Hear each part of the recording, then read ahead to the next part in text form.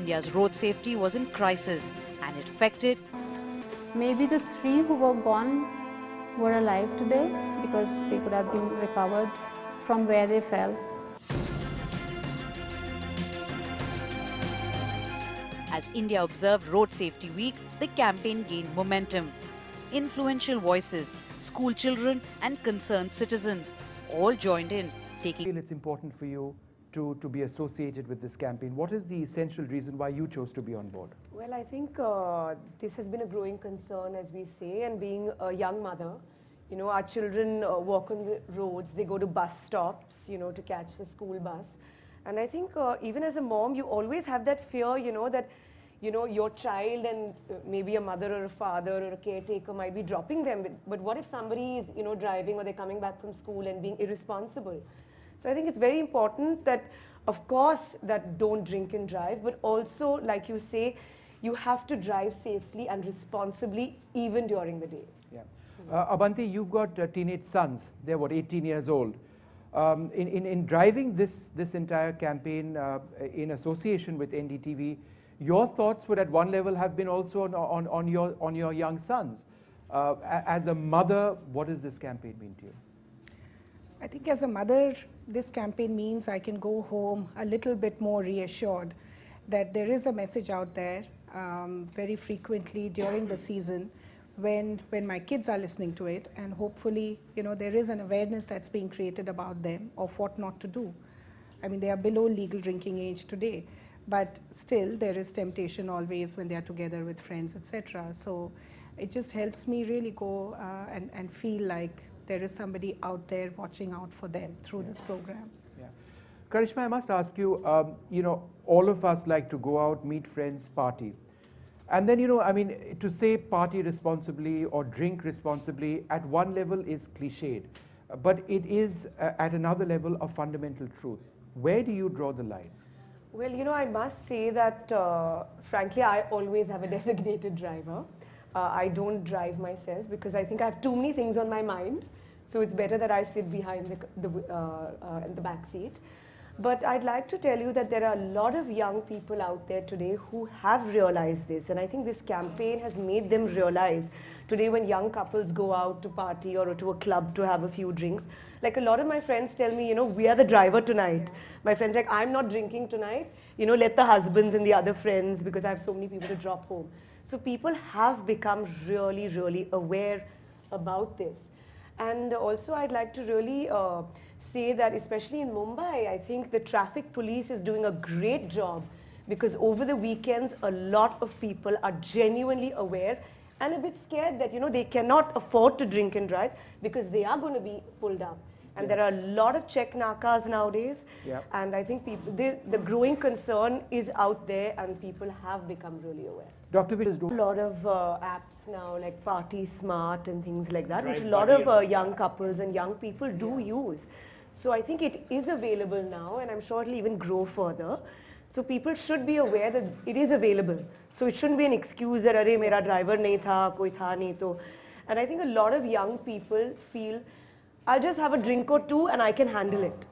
Well, that is not the case. If you are even having one drink, you cannot drive a vehicle. Period. What about, uh, but, but again, what about the moderate consumption uh, of, of alcohol? Uh, how, I mean, for those who drink, uh, it's, it's, a, it's obviously a very personal choice.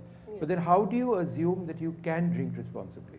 No, And- that's and assuming, of course, that you're not driving, so that's out of the question. But then uh, just being responsible as a drinker, I mean, how do you actually figure out where to stop? Well, I think it's from person to person. Like basically, I mean, I, I don't like alcohol, but uh, there are some people who enjoy a drink like every night. So I think for health reasons also nowadays you hear, you know, people will say, you know, I've had one drink or two drinks.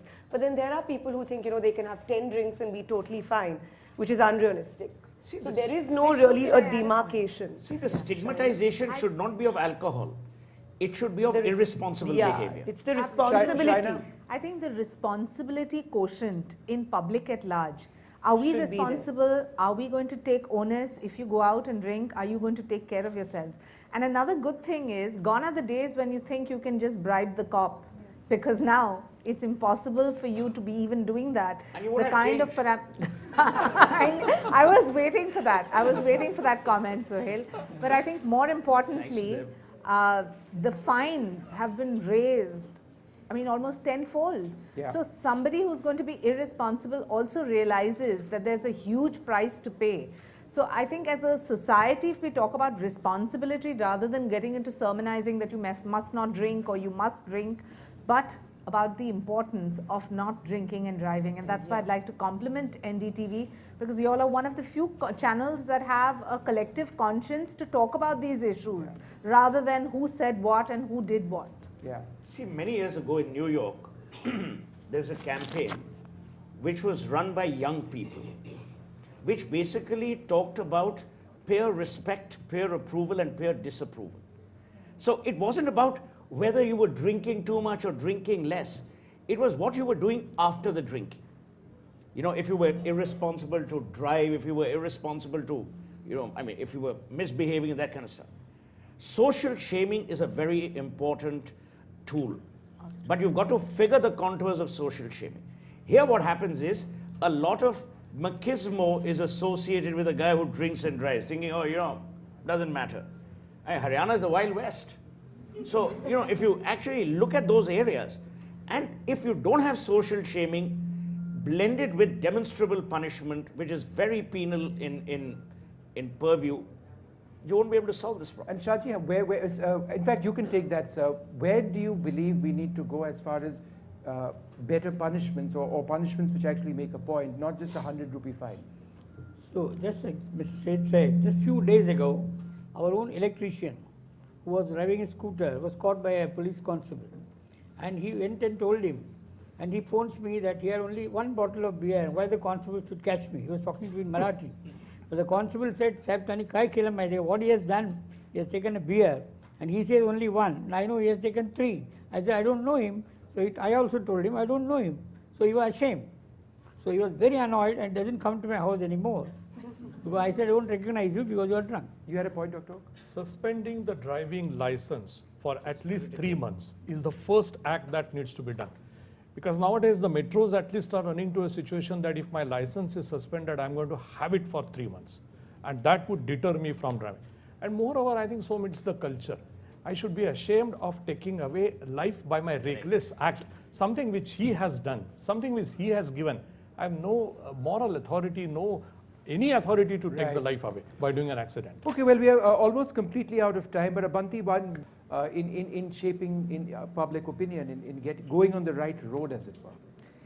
So I think um, three things really. The first is that um, we kind of continue to create awareness around new laws and new legislation which have come in. So last year we did the Good Samaritan. This year, hopefully, if the Motor Vehicles Act comes through from with the Parliament, then really creating that awareness. I think that's important. The second is how do we, you know, uh, make sure that the on-ground momentum uh, is spread to more cities, more people. So, you know, in marketing language, we say broaden the reach of what we are doing. And third is really how do we bring in more engagement uh, and not just, you know, one way kind of sermonization. And that's why we thought for this season, we are actually going to move from a negative message like don't drink and drive, which feels like a stick, to a rallying cry for a positive action, which is get a designated driver, so that people know, okay, I don't do that, but then what do I do? And and you know, so we make that the mantra, so there is a behavior shift that people can connect to and get engaged with. All right, well, I'd like to thank uh, all of uh, our panelists today for uh, joining us on this. We do have time for questions, uh, which we will take. Um, but it's, it's something that we really feel uh, is a cause that in NDTV we certainly we attach ourselves very closely to. And it's been a great privilege working with United Spirits on this. This campaign, this partnership is very strong, and we hope it does continue. Uh, we've got young students over here, young professionals over here. We've also got uh, Dr. Suleman Merchant, the Dean of uh, Sion Hospital, uh, with us. Uh, Dr. Merchant, can you, there you are, sir. Uh, you were supposed to be here with us, and I'm so glad you were able to make it. Um, in fact, I would ask you uh, the same question which I've asked uh, uh, Dr. Oak earlier on. The emergency room uh, of a hospital, the first hour. What is the scene that you typically see day after day, year after year of how families are often destroyed because of irresponsible choices being made? I think that's a very good question. And I think before starting, it's nice to have a moot point of who are we designing roads for, right? We design roads for motor vehicles, for cars and, and, and uh, other vehicles, but we don't design it for pedestrians. And sadly, 50% of the people who are actually dying in road accidents in India are called vulnerable road users who are not protected by a shell. So they are cyclists, they are pedestrians, they are children. So every, every day, 20 children die in road accidents in India. Yeah. Kids, uh, you know how kids are taken to school and, Yeah. and, and got back from school.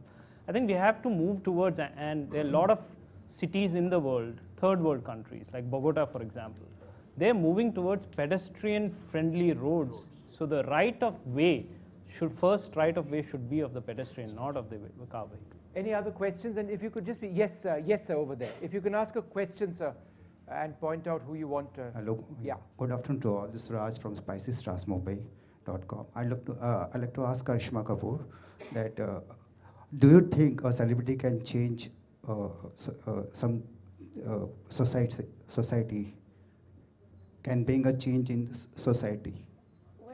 A celebrity can always uh, bring out the awareness. And I think like uh, Virat is also part Yeah. of this campaign. I was there in 2014 in Bangalore. So I think we can, uh, you know, influence uh, the people, the youth, uh, everyone out there. So I think it can make a change. And we do try in our own way to do that.